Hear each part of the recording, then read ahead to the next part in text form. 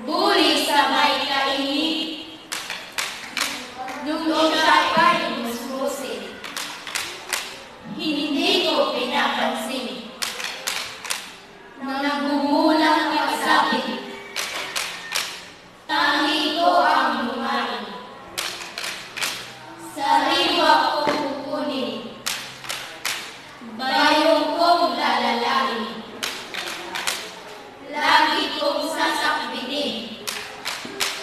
lumulutong kaibigan. Kung kita'y pag-isipan, may ilog sa pagitan, may gubat sa harapan. Ngunit kung magbulayan, parang nasa harian.